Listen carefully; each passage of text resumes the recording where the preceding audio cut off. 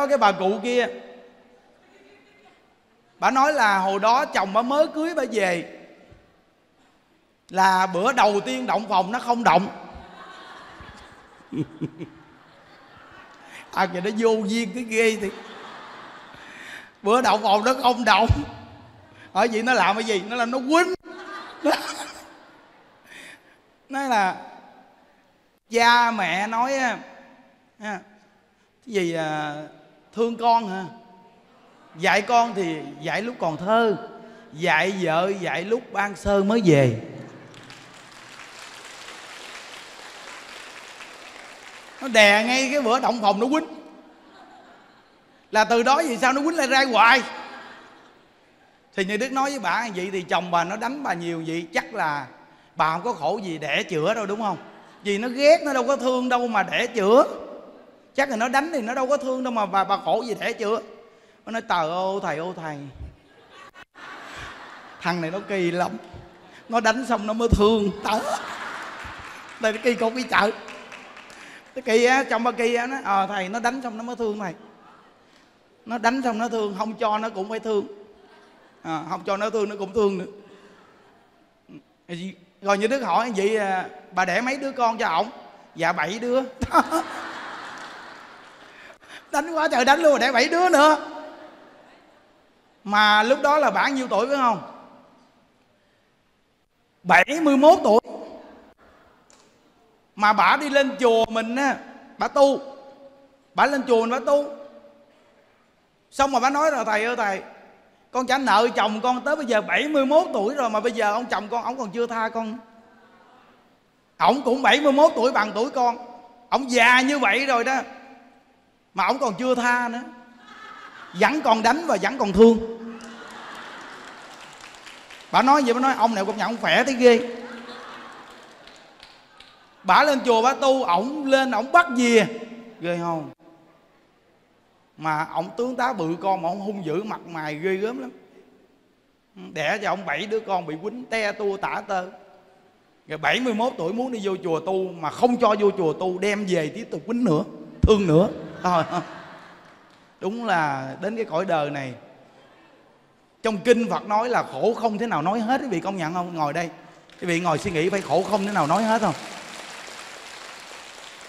Nhưng Đức nói cho quý vị nghe ngay trong cuộc đời này có những người người ta giấu cái khổ đau, quý vị. Ta nghĩ là nhà ta giàu, ta có địa vị, người ta là một con người được nhiều người biết đến. Cái khổ đau người ta phải ẩn giấu, người ta phải che giấu cái khổ đau. Bước ra ngoài người ta nở nụ cười, người ta ra vẻ như ông này bà nọ nhưng mà bước về nhà là màn kịch của gia đình. Quý vị hãy nghe như vậy để mà suy nghĩ cho kỹ đi. Cái màn kịch của gia đình này nó sẽ giúp quý vị giải thoát được không? Quý vị cần nghe phật pháp gì nè? Để rồi quý vị tiếp nhận phật pháp đi. Rồi mỗi ngày nghe những đức giảng mà cừ thật lòng từ tâm đi, để nó cởi mở cái khổ đó đi. Chứ quý vị đi ôm cái khổ mà bị giấu làm chi? Rồi đến một ngày nào nó cũng đỏ lạ cả. Đó đó.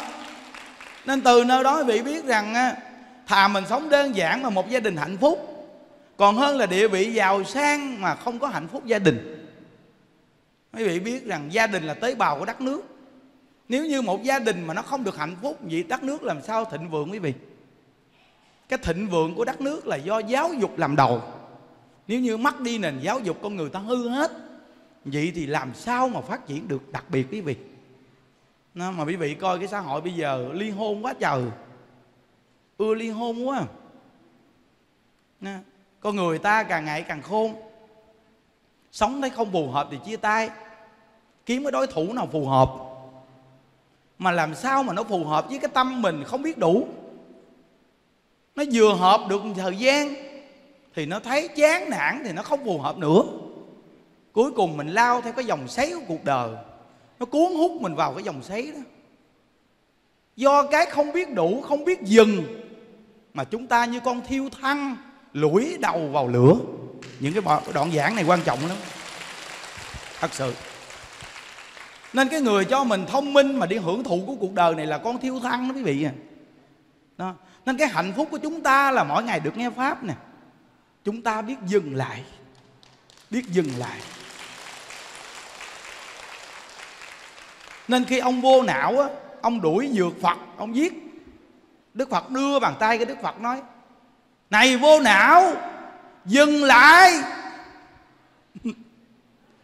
Xong rồi cái vô não cứ, cứ đuổi theo phật. Mà phật đứng tại chỗ mà vô não cứ đuổi theo hoài đuổi không được phật. Vô não kêu ông cù đàm đứng lại cù đàm đứng lại. Thì đức phật nói ta đã đứng lại rồi ngươi cũng nên đứng lại đi. Ủa, ông chạy gì mà đứng cái gì? Ta đứng rồi. Đứng cái gì? Ta đứng cái tâm ác độc, cái tâm ác ý, cái tâm xấu xa. Ta đứng lại rồi. Ngươi hãy đứng cái tâm đó lại đi. Đúng không? Nên từ nơi đó quý vị biết rằng con người mình, nó lao theo cái dòng xoáy cuộc đời. Rồi mình khổ à ngày xưa mình có căn nhà lá.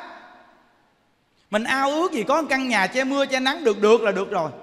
Vậy mà mình có cái căn nhà đúc thì mình gặp căn biệt thự kia, mình nói, công nhận thì nghe căn biệt thự gì đặc biệt ghê. Mình nhìn căn biệt thự, rồi mình có căn biệt thự rồi thì mình lại nhìn căn biệt thự trên Đà Lạt. Để lâu lâu vợ chồng con cái lên đó hóng gió đồ chơi. Vì thấy cuộc đời nó có cho bị đủ không? Nên mình như con thiêu thăng, đúng không? Bị cái danh lợi chối buộc để lôi kéo dẫn dắt mình đi đến cái chỗ khổ đau và đọa lạc. Đó. nên mỗi năm cái ngày sinh nhật là nhắc mình đứng bớt lại đi. Dừng bớt lại đi, bị ô Nè. cái hội chúng giảng pháp mà cũng ờ, đồng hành. Quá đồng hành. Đúng không? Đó phải đồng hành gì đó mới ngon lành nè. Không? Nên, á, vậy người ta mới giảng cho nghe.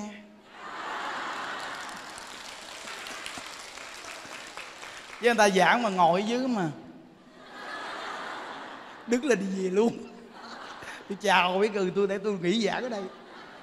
Dạo mà mặt như kênh kênh tiếng ghê quá. Hiểu không? Người ta giảng ở đây mà ở dưới ngủ là tôi tôi đứng, tôi đi về, bây giờ cho biết. Hiểu không? Nên từ nơi đó mà mình phải làm sao mà giúp đỡ nhau. Giúp đỡ nhau để dễ thành tựu. Thấy chưa? Nó bây giờ quý vị thấy đi về đây những đức tiếp vị tới bờ tới bến mà. Thấy không? Quá tiếp luôn mà.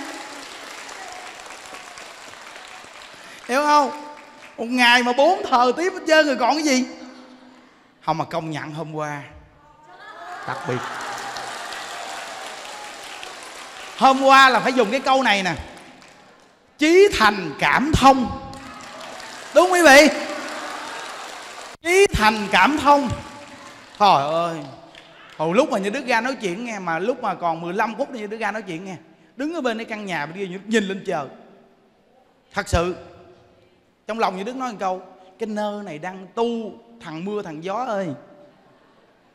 Cái nơ nào mà nó chưa tu hoặc là nó đang đi chơi đồ thì mưa cho nó đi. Đúng không? Bây giờ cái nơ này là đang mưa nè. Tôi không có gì, tôi cái gì chứ á. Các vị còn dữ hơn tôi, cao hơn tôi mà. Mà bây giờ tôi đang tổ chức cho người ta tu.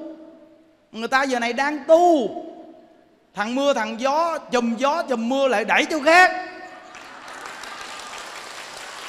một trăm phần trăm thì đứng như đức trong lòng nói vậy đó quý vị. Nói bây giờ là ờ, tôi chuẩn bị xuống nè. Qua giảng pháp nè giờ mưa mưa. Tùy các vị. Bây giờ chỗ này người ta tu người ta ngồi nheo nhóc cho mà chuyển đen kịnh hết trơn rồi. Bây giờ mình đã ra chặn rồi sao mà mà mà mà, mà, mà, mà lùi bước? Từ khi là mưa ầm ầm thì thầy trò tóc chạy thì kệ thôi đúng không? Mình chơi vậy cũng hết mình rồi. Không, tôi nói thiệt nghe. Quý vị mà gặp người bạn như tôi là ngon trong cuộc đời. Đúng không? Bạn gan dạ chịu chơi. Đúng không? Giống cái câu miền tây nói chơi xả láng sáng, có gian mấy cài về. Hiểu không? Không, tôi nói cái gì nói nghe. Có tiền không có tiền gì giàu nghèo gì mặc kệ nhưng mà đã chơi là chắc chắn là lúc khó khăn giúp được là giúp liền chứ không có trốn. Không có bỏ trốn nghe. Chơi là phải chơi ghen. Nó, mình chơi mà một ngày nào mình á mình khổ mình đi tìm người ta người ta bỏ mình rồi sao? Khi mà người ta cần mình giúp được là mình làm liền. Cái gì mình nói rõ ràng chứ không phải là người ta khổ mà người ta tìm mình là mình trốn. Mình chơi vậy hàng lắm. Nha hiểu không quý vị? Các vị thấy có bao giờ những đức lên chương trình mà những đức bỏ rơi vậy không? Từ khi làm ngoài cái cái cái cái cái cái vị trí kiểm soát của mình hoặc là bữa đó tự nhiên test xỉu. À, hiểu không? Chứ ngoài ra vị thấy có bao giờ bỏ vị đâu. Cỡ nào cũng tính cho tới cùng luôn. Hôm qua mà công nhận thì vừa giảng pháp mà vừa chờ mưa lâm râm ghê thiệt chứ. Lâm râm mà không mưa nghe. Giảng kịch liệt luôn cuối cùng ra tụng kinh lâm râm chút chút chút phải không? Xong tới lễ phật một chút cuối cùng hết mưa luôn. Đúng là cái bữa hôm qua quý vị là cái bữa hôm qua là cái bữa mà nó nó, nó nhiếp tâm. Nó nhiếp tâm vì sao quý vị biết không? Một là mình phải cầu nguyện làm sao cho được có mưa. Cái, cái, cái, cái lúc đó lễ phật tụng kinh tổ quá trời luôn quý vị. Quá dữ dằn luôn nghe không? À. giống như có cái bà này bà thường á là gặp cái hầm đó bà sợ lắm bà không có bao giờ mà bà đi mà bà dám mà bà, bà lội ngang cái hầm có một bữa nọ thì có cái thằng ăn cướp nó cầm cái dao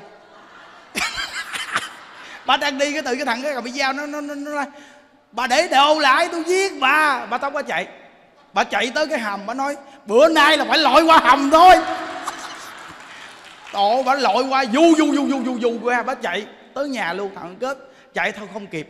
Từ đó về sau bà mới nói với cái lương tâm bà rằng, thì ra mình là bị ám ảnh cái hầm, chứ thật sự thì mình có khả năng vượt qua cái hầm. Hiểu như vậy? Câu chuyện này sâu sắc lắm nha. Câu chuyện này muốn nói lên rằng là chúng ta sống trong cuộc đời này, tất cả những gì người khác làm được, ta sẽ làm được. Hãy tự tin, đừng bao giờ mất cái cái cái sự tự tin đối với chính mình. Hiểu không? À. rồi có những người ngồi đây mà ưa có tính sợ ma. Ngộ ghê người mà sao ưa sợ ma quá à. những đức nói với vị nghe nghe vị sợ, con người ngon hơn sợ ma. Con người nó ác hơn ma. Hãy bình tĩnh mà suy nghĩ kỹ đi.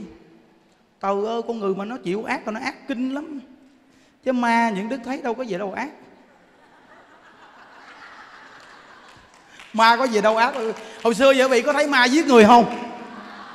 Hả? Có thấy ma giết người không? Quý vị, hồi xưa vậy có bao giờ quý vị thấy mà mà mà ma, mà mà hiếp con gái người ta không? Có không? Có con người không à? vì thấy, có bao giờ quý thấy ma ăn ăn cướp không? Ma cấp đồ không? Vì có thấy ma lấy vợ người ta không? Lấy chồng người ta không? Toàn là con người làm không à? Vì thì con người đáng sợ hơn ma. Đúng chưa? Nếu như con người mà không nghe đạo, con người mà không biết tu là họ đáng sợ hơn ma. Vậy mà quý vị phái rằng con người bị sợ ma là sợ cái gì? Nên ma không có gì phải sợ hết trơn á. Tại vì ma cũng như chúng ta thôi, mà họ còn hạ hơn chúng ta một cấp nữa. Họ phải nhờ chúng ta giúp đỡ họ. Nhưng mà mình đi sợ họ nên mới có câu nói là ma bắt coi mặt người ta. Nó thấy đứa nào nhát nhát thì nó lợ nó chọc hoài. Ờ, đứa nào nhát ma mới chọc nghe. Nghe không? Từ hôm nay mà những người sợ ma thôi đừng có sợ ma nữa nghe. Ừ. được không? Nó từ nó đó mình phải bình tĩnh chứ. Cái người mà ưa nhút nhát sợ ma là dễ bị ma nhập còn mình gan dạ mình mạnh mẽ, ma nào nhập mình. Hiểu không? Đó, nên à, bằng đêm mà gặp ngủ mà gặp ác mộng này kia đó, sáng thức dậy, rồi thôi, đừng có sợ. Gì đâu sợ. Trong kinh kim cang, phật nói là tất cả pháp hữu vi như mộng quyển bọt bóng pháp hữu vi là cái pháp thấy trước mặt mình. Cái gì mình thấy đã qua rồi là cho qua. Không có suy nghĩ tới. Đêm hôm dù là ác mộng gì, ngày mai thức dậy là xong chuyện khỏi cần suy nghĩ bàn tán chi cho nó mệt. Hiểu không? Đó vì nghe gì cái tâm thoải mái chưa? Quá thoải mái luôn. À, quá thoải mái luôn. Nó giãn sức hồ mồ hôi hột luôn. Nữa nước có để bên trái còn kỳ cục ghê. Cái mấy người này kỳ quá. Đưa người ta phải để bên phải. Nhớ nè, cho người ta cái gì đó phải thuận tiện cho người ta. Nghe không? Cho cái gì phải thuận tiện nghe. Đừng có làm khó người ta quá. Sau này bị có, khó lắm. Hiểu không? Đó. nên phật tử mà những đức dạy mấy cô á, mình là người buông xả niệm phật giảng sanh. Dễ. Không có khó tính nữa. Hiểu không? Nó không có làm phiền người ta, khó khăn quá, nghe chưa? Cả mình cho tiền con mình gì nữa, cho không cho thì thôi. Chứ đừng có chữ rồi cho. Nhiều bà bệnh, bị cái bệnh này lắm nè. Cứ con nó lại nó xin tiền, cái chữ nó, chữ này, chữ kia một chút. Nè, mày lấy đi. Mày ăn giọng gì mày ăn đi. Cầm tiền mày ăn giọng gì mày ăn đi. Cái này là một cái hành động cực kỳ tệ. Không có giáo dục được con của mình thí dụ như bây giờ con mình nó xin tiền, mình nói, bữa nay mẹ không có tiền. Một câu thôi là xong. Rồi, đi chỗ khác chơi. Bữa khác xin tiền nè, cho con nè. Cho là cho liền, còn không cho là thôi. Chứ đừng có chữ. Chữ xong rồi cầm tiền liễn vô mặt mày ăn giọng gì mày ăn đi. Quý vị thấy tệ không? Mà trong đây có người phụ nữ gì không? Có. Sao nói cái gì cũng có, tôi nói nói là có. Hay không? À, bởi vì tại sao mà không về đây nghe giảng được? Tại vì có. Nói đúng quá mà phải về nghe chứ. Đúng không? À rồi quý vị thấy bây giờ tất cả những người phụ nữ đây quý vị ngồi ở đây phải quý vị là nhiều người phụ nữ đây phá thai lắm đúng không? Nó có nữa đấy chứ. Cái này đầy nè. Cái xã hội bây giờ mà mưa gió thất thường, bốn mùa xuân hạ thu đông, bị lộn lại. Là do cái nghiệp phá thai mà ra. Nhiều đứa nhỏ bây giờ nó nghĩ rằng cái chuyện phá thai cũng như là một cái giọt máu vậy đó. Không có dính dáng gì chuyện giết người, bậy. Nó không có linh thức nhập vào cái giọt máu đó làm sao mà biết mình mang thai. Mình vừa biết mình mang thai là trong bụng mình đã có một linh hồn rồi mà mình phá cái giọt máu là giống mình giết cái mạng người ta rồi. Là cái hồn phải sức đi, vất vơ, vất vưởng làm cô hồn đó. Nên mình đi phá thai dù là một giọt máu, nhưng đó là giết một mạng người. Phá mấy giọt là giết mấy mạng người. Nên cái người mà phụ nữ mà mang nghiệp phá thai, cái vị khó có được hạnh phúc lắm. Những đức nói, gia đạo bị thường phiền phức lu bu lộn xộn. Hiểu không? À, bây giờ mình phải tu nhân tích đức chứ không phải rằng á, tạo nghiệp vậy rồi bỏ ra số tiền nhờ quý thầy tụng kinh dùm rồi lập cái bài vị, xong, mẹ đi phá thai nữa nghe con. Rồi phá thai xong lập dùm bài vị, đưa tiền cho quý thầy tụng kinh dùm rồi mẹ đi phá thai nữa nghe con. Cái chuyện này dễ ăn lắm ha. Tạo ra rồi bỏ số tiền ra là xong hả? Riêng, á, ai thì nói xong, nhưng tôi thì tôi không có. Tôi không bao giờ mà tôi lãnh cái này hết trơn á. Quý vị có đưa tôi một tỷ, tôi cũng không lãnh cầu siêu cho con quý vị nữa. Muốn cúng cúng cúng thì thôi. Tôi lãnh, tôi làm không được, nó theo tôi sao? Oh.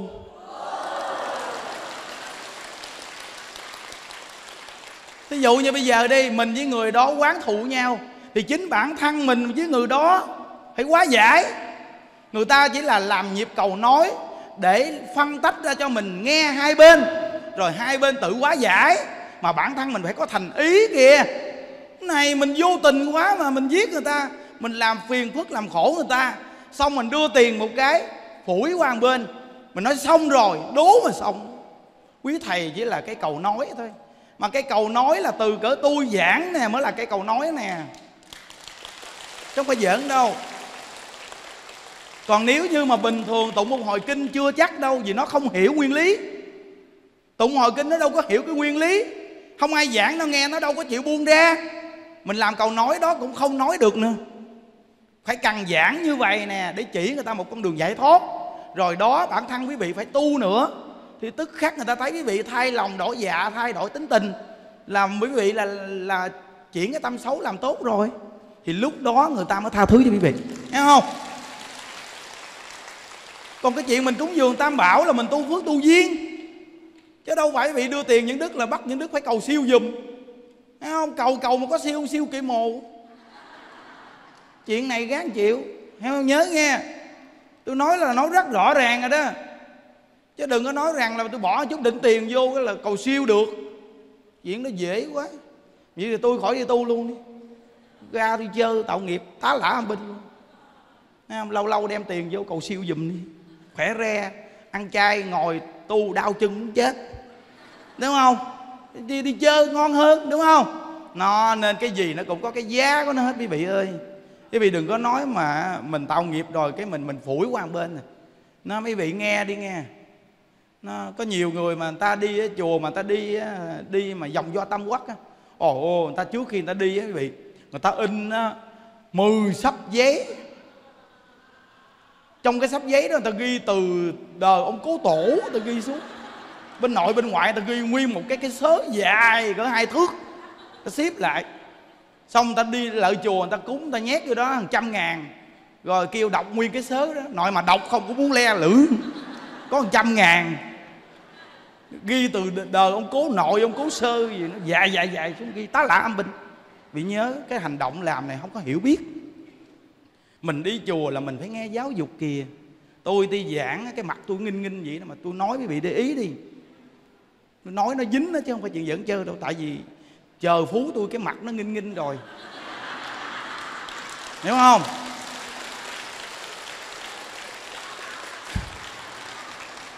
Có bà kia bà nói hồi xưa mới nghe thầy thấy ghét lắm.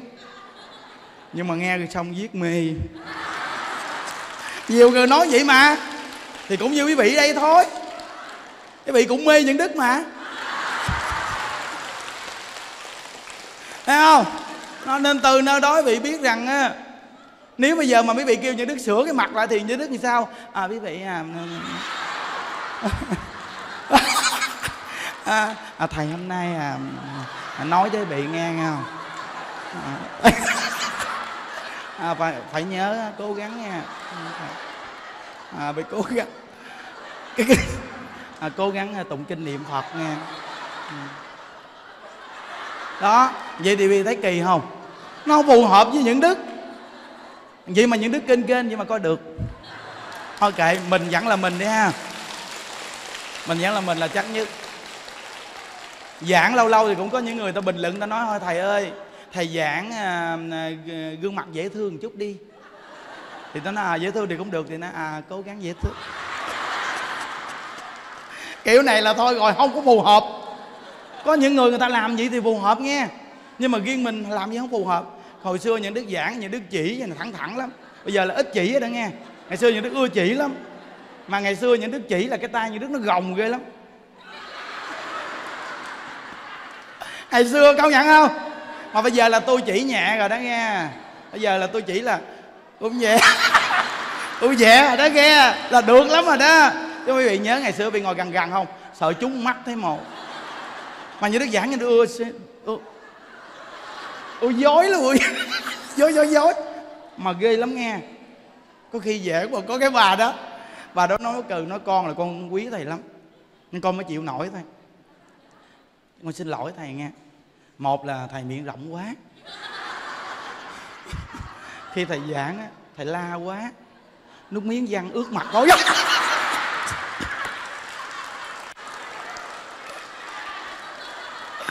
ờ, xong rồi những đứa nói, vậy sao tuần nào tôi cũng thấy bà ngồi đây chứ ạ mà bà nói cái gì? Bà nói, quen rồi quen rồi thấy chưa? Không, cuộc đời này ngộ nghe quý vị không mà ngồi nghe tôi giảng mà vậy thì quen thì cũng được đi. Có những người mà mà người ta có chồng mà gặp ngay ông chồng hôi cánh. Mà họ nói là họ quen mà bữa nào không có cái mùi cánh đó là không chịu nổi. Ghê chưa? Thì thấy cuộc đời này nó quen chưa? Vậy thì bây giờ chúng ta đổi lại đi. Quen cái gì? Quen niệm phật. Hiểu không? Giờ quen niệm phật đi tại vì quen cái ngũ dục lục trần ở trong cái cõi đời này nó không giải thoát. Nếu như mình quen niệm phật thì đời này mình giải thoát. Mà mình quen niệm phật rồi mình giải mã những cái không vừa lòng vừa ý kia. Vì cái niệm phật là cái nguồn gốc để giải mã những cái không vừa lòng, không vừa ý trong cái cuộc đời này. Đúng không? Đó. Thấy hay không? Đi vòng vòng mà đưa vô thấy chưa? Đó, cái này mới là cái tuyệt chiêu nè. Thấy không? Cái môn gì cũng vậy giống như đá banh cũng vậy thôi. Nó phải lừa tới lừa lui rồi nó gần cung thành mới xúc. Chứ nếu như cái thằng háo thắng quá đứng từ xa nó xúc bậy bạ thì đuổi mày ra khỏi sân. Mày không biết chuyền bóng đúng không? Thì vi cô cũng biết mà. Cái môn chơi nào cũng vậy. Nó cũng phải có từ từ. Đúng không? Nó mới cảm thấy hứng thú. Chứ nếu như mà ban vô là xúc người ta ai chịu nổi. Nên, nên giảng pháp cũng vậy cũng quay vòng vòng vòng vòng vòng vòng. Rồi xúc hiểu không? Đó đó là cái đó là cũng là nghệ thuật lắm chứ không phải giỡn đâu nghe. Đúng không quý vị? À. giảng ngày ba bốn thời mà người ta chịu nghe là cái điều này không đơn giản á. Nó phải giảng làm sao mà nó có cái sai vô. Để chi phải không? Vì chúng sanh nó sai nhiều quá. Giảng cái sai vô để cho nó thấm ngay cái sai của nó rồi mới lấy cái sai của nó ra, mới để câu Phật hiệu vô, thì nó mới chịu được. Đúng quý vị. Còn nếu như mình giảng kinh giáo không, mình giảng tốt không á, thì con người ta nó không có phù hợp vì mình sai nhiều quá, mà không có trúng ngay mình cái gì hết trơn á. Vậy làm sao mình tiếp nhận Phật pháp được? Nên mình phải đưa mình ra sai, mình đưa mình ra tầm bậy. Xong mình mới lấy cái tầm bậy, cái sai của mình mà mình mình điều chỉnh lại từ câu Phật hiệu nhờ câu Phật hiệu giúp mình. Còn người ta nhìn từ mình sai quấy gì, mà niệm Phật mà bây giờ mình phát tâm như vậy thì người ta lúc đó người ta mới tiếp nhận Phật pháp. Đó. Nguyên lý đó là như vậy đấy. Nó nên quý vị khi nghe mà những đức giảng quý vị thấy nó nó không có buồn ngủ được là do gì? Nó nó nó, nó giúp quý vị. Nó gọi là phấn trắng lắm. Với lâu lâu nó la một hai tiếng chứ cách giảng mà vỗ tay nó cũng hay nữa. Vì sao biết không? Nó vỗ tay nó giúp mình đỡ buồn ngủ. Nhớ nha mà khi quý vị mà vỗ tay á, là tự độ và độ tha. Nó ngộ ha xưa chưa từng nghe câu này luôn. Vỗ tay mà tự độ độ tha là sao thầy? Tự độ là khi quý vị vỗ tay là quan hỷ. Độ tha là khi mình vỗ tay cái người kế bên nó sắp nó sắp sửa ngủ nó giật mình nó thức. Lỡ tha. Đúng chưa? Vỗ tay thì có ai ngủ đâu. Nên những cái người mà nghe giảng pháp hay nghe ca ca nhạc là phải vỗ tay lên để lỡ tha nghe. Cái bà ngồi kế bên mình bà ngủ gục mình vỗ tay cho lớn lên. Còn muốn khiều là phải xem lại thời tiết nhân viên. Ờ có cái bà đó bà ngồi bà tụng kinh. Bà ngồi bà tụng kinh bà làm nè. Cái bà ngồi kế bên bà làm nè. Khiều ê ê. Bà, bà không gặt nữa mà bà nhắm mắt. Hồi nãy thì bà làm gì nè? Bà này bà khiêu một cái bà không gặt gì nữa mà bà nhắm mắt im gu. Bà kia khiêu thêm một cái, nó bà quay bà làm nè. Người ta đang tụng kinh, sắp sửa vô định rồi. Bà khiêu một cái, sức định luôn. Mai mốt đừng có làm gì nữa nghe. Cái tính tôi tụng kinh là vậy đó. Bị thấy không? Nên những đức mới nói là quý vị phải nhìn thời tiết nhân viên coi cái con người đó với mình có hợp không? Chứ con người người ta cái ngã dữ lắm. Tuy ngủ vậy đó mà mình khiều một cái là cái ngã mạng nó nổi lên. Mắc cỡ quá à. làm bộ. Cái này là bồ đề gai sắp nổi ra, bị khiều thêm một cái nữa. Ê. Cái tính tôi tụng kinh là nhắm mắt không mà nghe. Thấy chưa? Vậy thấy có chuyện xảy ra chưa? Nên mình vỗ tay nó không có nói được mình cái gì. Mình vỗ tay cho lớn mình đưa cái tay mình gặn cái lỗ tay nó. Vỗ.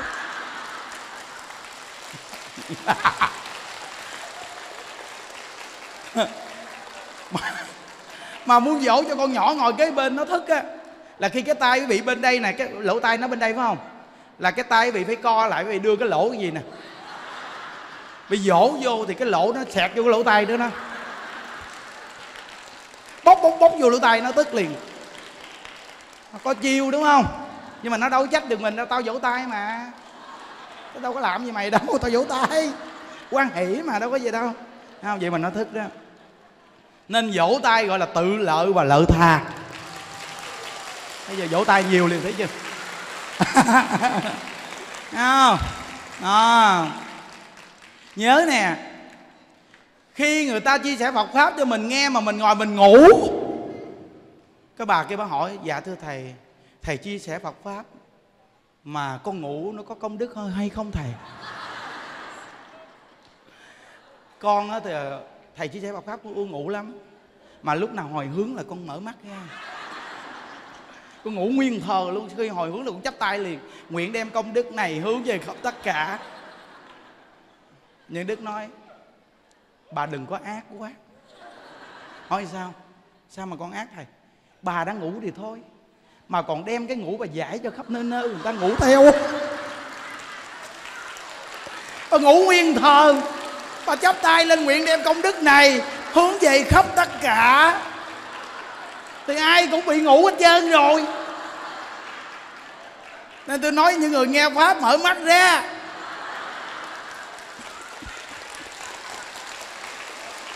Thấy chưa? Ví dụ như ca sĩ người ta hát rồi mình ngủ. Vậy thì mình gieo cái nhăn là sau này mình hát người ta ngủ. Đúng không? Nó, bây giờ ví dụ như giờ nhà đức giảng pháp đây có cái bà ngồi trước mặt mới làm nè. Mà sao giảng được? Trước mặt mới làm. Sao giảng? Thì cái nhân quả đó sau này mình giảng pháp, người ta ngồi dưới người ta gục gặt lại. Quê. Gieo nhân nào gặt quả đấy chứ. Bây giờ tôi giảng pháp mà không ai ngủ chân là do gì tôi đã từng nghe với vị giảng, tôi không có ngủ. Hiểu không? Nên khi bây giờ mình mà nghe ca sĩ hát là mình phải vỗ tay lên, mình phải sống động lên. Đúng không? Gieo cái nhăn vậy chứ. Khi người ta hát, người ta hát nhiệt tình quá trời mà. Bởi vì mấy anh chị ca sĩ đến chùa mình hát hát hết lòng hết dạ hát hát sao mà nhạc đi sau mình đi trước. Hát quá dữ luôn. Hát ở đây. Nghiêng chùa mình là chơi là vượt trội không à. Hiểu không? Nó, còn người ta trên người ta hát mình dưới ít. Hiểu không? Mình cũng phải nhiệt tình chứ. Hiểu không? Ví dụ bây giờ nhà đức giảng pháp, vị dưới bị làm gì thì không đúng. Thì vỗ tay thôi, được rồi, còn ca sĩ thì mình à, mình làm gì chứ. Để cho người ta hát người ta cảm thấy người ta vui. Mà người ta vui mai mốt ta rủ bạn người ta, người ta. Ví dụ như giờ anh à, anh à, anh quy nè. À, trương đăng quy đi. Anh lên chùa mình hát đi. Anh hát anh hát xong anh về anh gặp mấy mấy bạn hát với ảnh anh nói công nhận nha. Đi lợi cái chùa đó hát vui lắm mày ơi. Vui ghê luôn. Quá vui luôn mày ơi nghe ông thầy giải cũng vui nữa mày. Mày đi hát với tao nghe. Thấy chưa? Rủ được. Mà rủ được một người đi đến chùa mình hát là có phước lắm. Vì sao? Vì người ta được tiếp nhận Phật pháp. Thấy không? Đó. Giống như hoa hậu kim tho lại đây hát mà rủ được nhiều người lại đây hát, thấy chưa? Thì mỗi một người đều có đồng nghiệp hát thì rủ. Nó nên giống như là dương ngọc thái. Mai mốt tới ảnh rủ mỗi người rủ được số người. Thí dụ như mình rủ người ta đi đi nhậu rủ người ta đi đua xe rủ người ta đi quýnh bài ha, rủ người ta đi chơi bờ bậy bạ có tội. Đúng không? Mình rủ người ta đi tu mình rủ người ta đi hát cho người ta vui. Hát đàng hoàng không có phải là mình nhảy nhót um sùm. Mình hát đàng hoàng mình hát nhạc phật giáo hát đà, nhạc đạo đức rồi nhạc hiếu thảo. Vậy thì tức khắc mình rủ những người đi hát gì có phước. Có phước rất là lớn nha giỡn không nha quý vị? À, phước mà duyên lớn nữa đó. Cho nên ngày nay chúng ta chia sẻ là ý nghĩa của ngày sinh nhật thấy không? Quý vị nghe nãy giờ đó là con người chúng ta mỗi người làm con phải làm cái gì đó ý nghĩa trong cuộc đời này. Khi mang cái thân này có của cha có của mẹ đó là mình đang tưởng nhớ đến cha mẹ. Rồi á, ngày sinh nhật của cha mẹ mình thì mình cũng phải làm một cái gì đó để cho hồi hướng cho cha mẹ mình. Còn cha mẹ mình lớn tuổi mà mình mừng thọ cho cha mẹ, có cái bà kia bà nói dạ thưa thầy. Con á 70 tuổi thì con của con á, nó mừng thọ cho con. Mà mỗi lần nó mừng thọ là nó giết 12 con gà và con heo. Con xin thầy dạy con là nó làm vậy ờ, con có tăng tuổi thọ không? Những đức nói ờ, không biết có tăng không mà bà có thể sống tới 85 nhưng mà nó làm cái kiểu đó chắc bà hai năm nữa chết queo.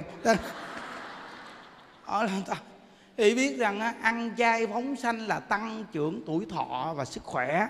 Có đó là Phật dạy, nghe. Mình đã được thọ mạng, thì bây giờ mình mừng thọ cho cha mẹ mình là cái ngày đó đó, là mình phải mua gạo cho người nghèo, mình niệm phật, mình lễ phật, mình phóng sanh, mình đại độ chay. Còn mình còn mua máy nghe pháp, máy niệm phật, mình tặng cho người ta đi đến nơi đó nữa. Vì mình đem công đức mình hồi hướng cho mẹ mình, thì mẹ mình tăng trưởng tuổi thọ.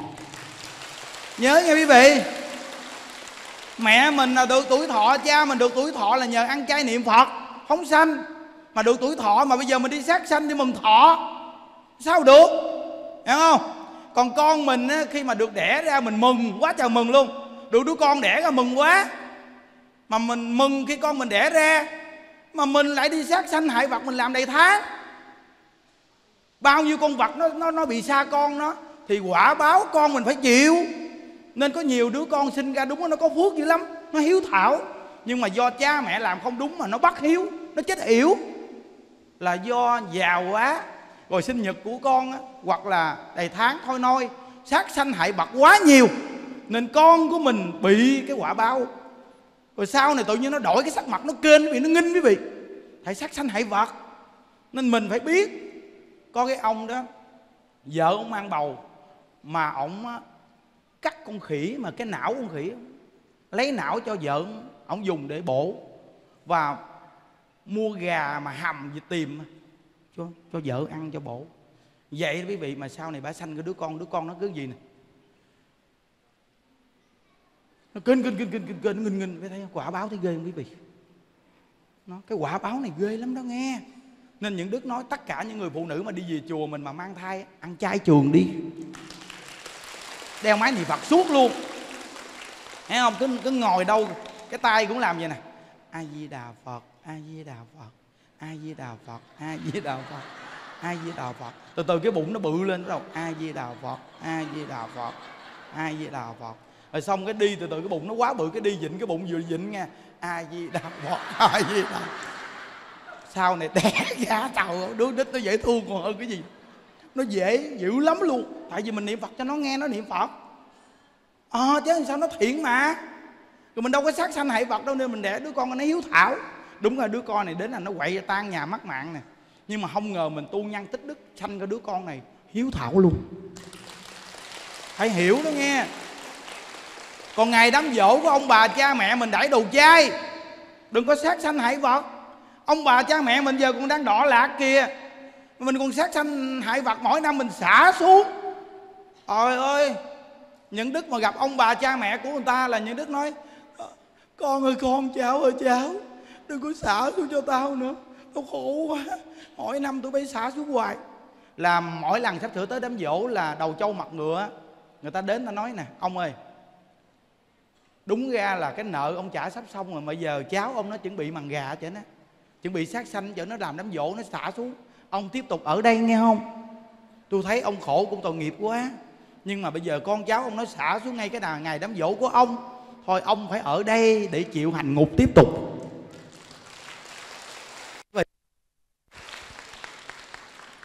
Nhớ, quý vị phải thương ông bà cha mẹ mình đúng nghĩa nghe quý vị. Hãy thương đúng nghĩa nghe. Ngày sinh nhật đồ của mình là tuyệt đối không bao giờ sát sanh hại vật. Vì ngày đó mẹ mình sinh mình khó khăn. Mình sát sanh hại vật là mình phụ lòng cha mẹ mình rồi phật đã dạy tứ sanh phụ mẫu mà. Tất cả chúng sanh đều ông bà cha mẹ nhiều đời nhiều kiếp của mình đó. Phật nói đó. Nên nói chúng ta bây giờ tập ăn chay là ý nghĩa lắm quý vị à. Ăn chay là đại hiếu thảo. Hiểu không? Ăn chay là đại hiếu thảo. Quý vị nghe hôm qua những đứa kể câu chuyện không? Kể câu chuyện mà mà cái ông này mà ổng ờ, đi săn bắn đó mà ổng bắn con khỉ con té xuống chết con khỉ mẹ nó ban lại nó ôm con nó. Thấy con nó chết xong nó ngước mặt nó la một phát nó nằm tại chỗ nó chết luôn. Xong ông đem hai con khỉ gì? Thì ông mổ bụng con khỉ con ra ông làm thịt. Không có gì. Mổ bụng. Khi nó thấy con nó chết. Rồi những đứa kể câu chuyện mà có con rái cá thấy không mà nó bị trúng bẫy, nó bị thương mà nó lết về người ta theo cái giọt, cái cái cái máu đó mà nó tìm nó. Cuối cùng thấy nó bò về tới cái hang nó, mà nó nằm cho con nó bú, rồi nó nằm chết tại chỗ. Tình mẫu tử chưa? Con người mình thương con mình, con vật nó cũng thương con nó đó quý vị ô. Nhớ nghe. Bây giờ nhà bị có nuôi gà quý thấy không? Khi mà con gà mẹ mà nó nó dẫn bầy đặt gà con mình kêu diêu là gà con chạy vô gà mẹ giơ cánh ra chùm con lại liền. Tình thương không? Thương quá trời thương luôn. Nhưng mà con gà mẹ nó thương con nó còn hơn mình nữa. Khi con nó lớn lên cái là con gà con lại con gà mẹ mổ liền. Con gà mẹ nói này mày đi chỗ khác, kiếm ăn. Để mai mốt mày trưởng thành, để mày lo lập nghiệp. Còn tao thương mày là thương cái lúc mày còn nhỏ, mày chưa biết gì. Còn khi mày lớn rồi, mày phải phát huy khả năng của mày. Nên bước lại gà mẹ, bon bon mổ cho cái đầu nó nói mấy câu nữa mà quý vị không có hiểu nhưng những đức hiểu. Thấy chưa? Phải rõ ràng không? Hồi xưa ta nuôi gà ta biết mà. Tôi hồi xưa nuôi gà lắm á. Những, đức hồi xưa còn nhỏ những đức quậy lắm. Mà những đức phái ôm gà đi đá lắm. Mà những đức chơi ghê lắm. Những đức cầm con gà những đức nhử con gà người ta. Con gà người ta bay vô đá gà những đức thì những đức lấy chân những đức đá gà đó. Sợ con gà mình bị đá. nó chơi nhiều trò kỳ cục lắm. Lạ lắm, không có giỡn đâu. Đó, nên quý vị biết rằng ha, những điều nhà đức chia sẻ cho quý vị nghe đó vì suy nghĩ đi. Con vật nó thương con nó nhiều lắm. Đó. Nên chúng ta ăn chay là đại hiếu thảo. Ăn chay là đại hiếu thảo. Có cái ông này nghe, ổng là một kỹ sư, ổng thiết kế ra một cái máy, bởi vì xã hội bây giờ thông nghiệp lớn. Ổng thiết kế ra một cái máy giết heo cái máy giết heo.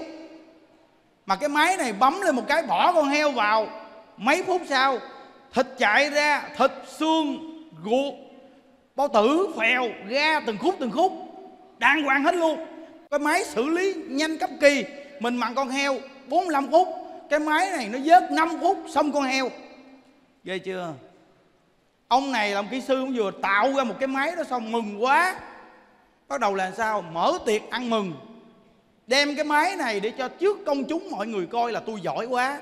Vừa sáng kiến làm được chiếc máy, đặc biệt quá, ra mặt trước công chúng. Vừa chuẩn bị bỏ con heo vào, bấm cái máy một phát. Cái cái cái sức hút, cái lực hút quý vị. Cái câu chuyện này rõ ràng trong cái câu chuyện như đức đọc luôn, là cái sức hút quý vị. Nó hút ổng dính vào cái máy. Tự nhiên người ta chạy lại kéo cầu dao không cầu dao không kịp, dứt một phát một, đầu xương thịt của ổng ra từng đoạn từng đoạn ra ngoài ghê chưa? Thấy ghê không? Nhân quả chưa? Tại vì ông lấy cái sở học của ông mà ông suy nghĩ cái điều quá kinh ác.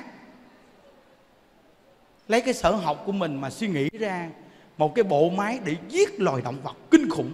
Vì coi bây giờ bị ra chợ, phải thấy con, cái cái máy giết gà chưa? Nó, ai mà chế tạo ra cái máy này đi rồi biết.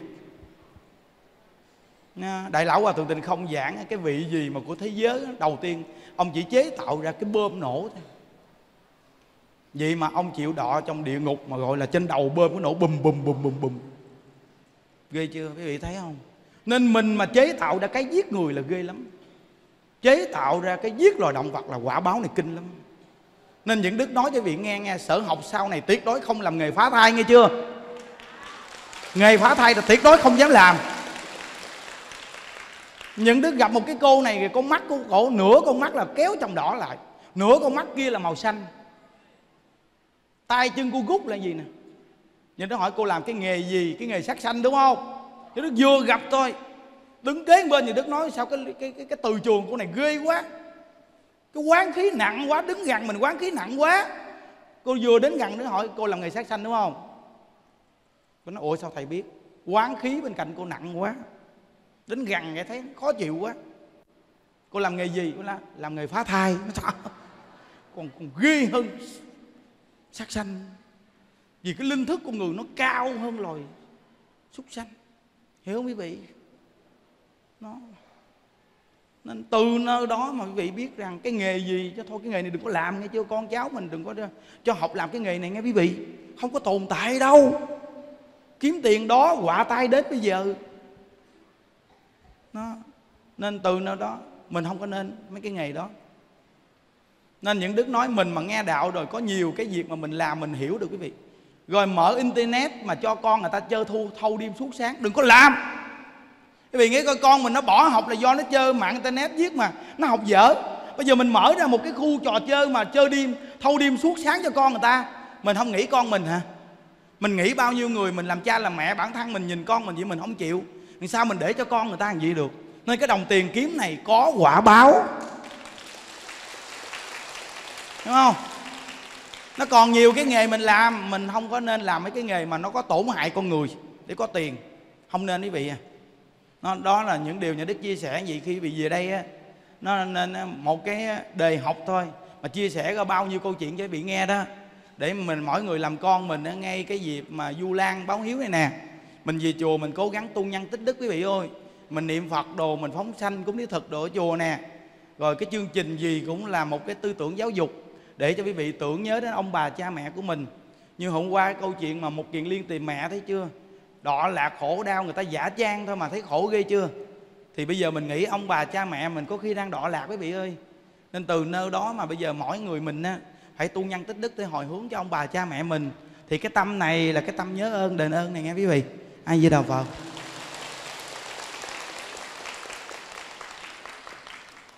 Bây giờ chúng ta đọc 12 lời đại nguyện quý vị ơi. Để người còn sống hay người đã mất hay quan gia trái chủ, hương linh vì nghiệp phá thai Cụ quyền thất tổ của chúng ta về đây tu tập trung Đều phát nguyện buông xuống cái tâm hận thù đòi nợ nghe. Rồi phát nguyện niệm Phật cầu sanh cực lạc. Ừ. Kính lại Phật Di Đà. Con nay xin phát nguyện. Thường xuyên đảnh lễ Ngài. Cho đến lúc lâm chung thân thể không đau bệnh. Kính lại phật di đà. Con nay xin phát nguyện. Thường xuyên đảnh lễ ngài. Cho đến lúc lâm chung. Tâm hồn không hôn mê. Kính lại phật di đà. Con nay xin phát nguyện thường xuyên đảnh lễ ngài. Cho đến lúc lâm chung. Không tham đắm ngũ dục. Kính lại phật di đà. Con nay xin phát nguyện. Thường xuyên đảnh lễ ngài. Cho đến lúc lâm chung. Tâm niệm phật di đà. Kính lại phật di đà con nay xin phát nguyện. Thường xuyên đảnh lễ ngài. Cho đến lúc lâm chung. Xả ly ta bà khổ. Kính lại phật di đà. Con nay xin phát nguyện. Thường xuyên đảnh lễ ngài. Cho đến lúc lâm chung. Hân nguyện về tịnh độ kính lại phật di đà. Con nay xin phát nguyện. Thường xuyên đảnh lễ ngài. Cho đến lúc lâm chung. Con thấy kim thân phật. Kính lại phật di đà. Con nay xin phát nguyện. Thường xuyên đảnh lễ ngài. Cho đến lúc lâm chung. Phật phóng quang nhiếp độ. Kính lại Phật Di Đà. Con nay xin phát nguyện. Thường xuyên đảnh lễ Ngài. Cho đến lúc lâm chung. Liên hoa con quá sanh. Kính lại Phật Di Đà. Con nay xin phát nguyện. Thường xuyên đảnh lễ Ngài khi vãng sanh tịnh độ. Hoa nở tâm khai ngộ. Kính lại phật di đà. Con nay xin phát nguyện. Thường xuyên đảnh lễ ngài. Khi vãng sanh tịnh độ. Chứng ngộ pháp vô sanh. Kính lại phật di đà. Con nay xin phát nguyện thường xuyên đảnh lễ ngài. Khi vãng sanh tịnh độ chống biên thành toàn giác. À, mỗi người chúng ta nên chân thật phát nguyện niệm phật. Để đời này chúng ta phải về cực lạc. Rồi mỗi người cố gắng mỗi ngày nghe pháp để mà động viên mình tu niệm phật. Dù là gặp trở ngại khó khăn gì cũng phải cố gắng niệm phật. Vì niệm phật mới hết khổ nghe à, chúng ta hẹn gặp ở cực lạc quý vị. Hai gì đầu phật nguyện đem à, công à, đức à, này hướng về khắp tất cả đệ tử và chúng sanh đồng sanh về tịnh độ đời này nhiều đời nhiều kiếp và hương linh ai nhi vì hiệu phá thai. Chiến sĩ tập bông đồng bào nữ nạn thập nhị loại cô hồn ngạ quỷ hà sa hổ vị vô danh hổ danh vô vị. Và tất cả những người mắc uh, trong trận dịch bệnh covid khắp nơi trên toàn thế giới để được thừa hưởng những công đức này thì pháp bộ đề tâm niệm phật để cầu sinh về thế giới tây phương cực lạc nam mô thích sư bồ tát ma ha ha như đăng phật tự chúng ngà kim thấy như cung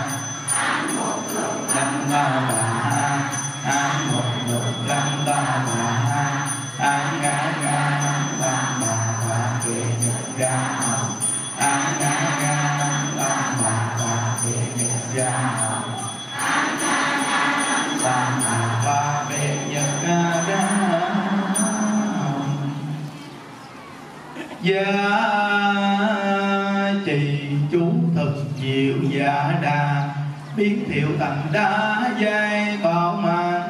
Nam mô sáng sáng tham bồ tát, nam mô sáng sáng tham bồ tát. Nam mô sáng sáng tham bồ tát ma tát. Gia trì chú thực, diệu gia đà biến thiệu thành đá dây bảo mạng. Nam mô sáng sáng tham bồ tát. Gia trì chú thực, diệu gia đà biến thiệu thành đá bát gia chi chú thực diệu gia đà biến thiệu thành đa giai bảo mạng nam mô xá sanh tham bồ tát, nam mô xá sanh tham bồ tát, nam mô xá sanh tham bồ tát ma tát con ơi hương linh ơi chiến sĩ chẳng quan đồng và nữ nạn ơi thầm nhị loại vô hồn ơi ố vị vô danh ngộ danh vô vị ơi thái nhi vì nghiệp quá thai ơi.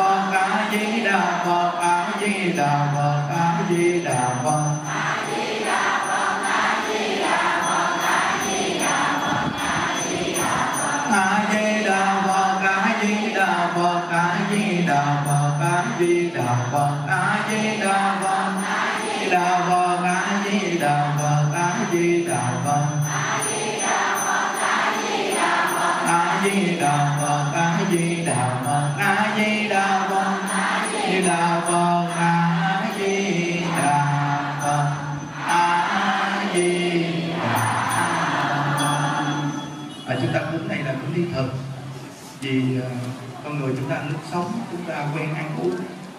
Có những người khi mình chết xong mình chưa siêu thoát, nên là ta vẫn bất lơ bất vượng đi. Mình muốn cái gì người ta cũng được vượng nhờ cái hương vị thôi nhưng mà nhờ đạo tràng đông người tu, niệm phật nên đi cúng người ta mang hưởng hương vị tốt chứ đó và mình niệm phật mình cầu siêu thoát cho người ta. Nên những đức thường nói rằng mình đi đến chùa, mình thắp nén nhang ở nhà trước mấy ngày, nói là con ngày đó ngày đó con đi đến chùa tu gì đó. Nên phụ quyền các tổ ông bà, cha mẹ hay những người trong gia đình con người thân quan gia thế chủ mà chết như siêu thoát đi theo con đi tới chùa nghe thầy giảng thì phật và được hưởng đại thọ thực. Cái vị đi à, đời đó thích ở thì ở luôn còn thích về nhà thì về. Mình hương linh mình nói vậy đó không có phụ người ta thì tự nhiên khi mình đi chùa người ta cũng đi theo mình. Hoặc mình không kêu mà người ta cũng biết mình đi chùa nghe nên những cái cung lý thực cái cho người ta là không mừng dữ lắm. Nên cái uh, nguyên lý cúng lý thực là gì ví dụ như cái cầm tâm thành tiên hay như là phật. À, chúng ta làm lễ phóng sanh nha. Thì biết rằng là mỗi con người chúng ta ai cũng là ham sống và sợ chết thì con vật cũng khác với định nên là không có con vật nào mà nó lớn lên mà nó nó lợi nó kêu mình giết nó để nó, nó cho cái ăn mạng. Của nó cho mình ăn nhưng mà do mình đủ sức mạnh mình đè mình giết nó thôi nên là những con chim này giống như nó đang ở tù. Mình thả nó nó mừng. Giống như mình ở tù mà ai thả mình mình mừng, mình cảm ơn dữ lắm. Đó là đơn giản dễ hiểu nhất. Nên khi chúng ta ngủ quý vị đừng có nên mà à, dùng cái phương tiện gì mà để bắt mũi giết đó tại vì một giấc ngủ của mình mà quá nhiều không tập chết thì giấc ngủ mình không bình an quý vị mình hãy thành tâm niệm phật đi trước khi tự nhiên nó tránh xa mình. Như những đức ngủ như đức đâu có nhân mừng gì đâu. Từ nơi đó thì quý vị biết rằng là biết Phật pháp năm giới của nhà Phật là giới đầu tiên là cấm sát sanh này à, tại vì sao? Vì chúng ta thương thân mạng thì con vật cũng thương thân mạng. Nên Phật kêu mình từ cái giết chúng sanh. Nên cấm sát sanh là cái giới đầu tiên. Nên là mọi người chúng ta về đây vì được dự cái lễ phóng sanh này vì cảm thấy vui lắm bình an và nguyện uh, cho quý vị được có sự bình an và luôn luôn sống tốt đẹp niệm Phật để cầu sanh được lạc chúng ta đọc tam quy y xong mình hãy tim nhé quy y phật không đạo điều quy pháp không đạo ngạ quỷ. Quy pháp không đạo ngạ sanh quy pháp phật không đạo điều quy pháp không đạo ngạ quỷ. Quy pháp không đạo ngạ sanh quy pháp không đạo điều quy pháp không đạo ngạ quỷ. Quy pháp không đạo ngạ sanh chúng ta đồng niệm phật và quan hệ vỗ tay để hải tim nhé. A di đà phật, a di đà phật, a di đà phật.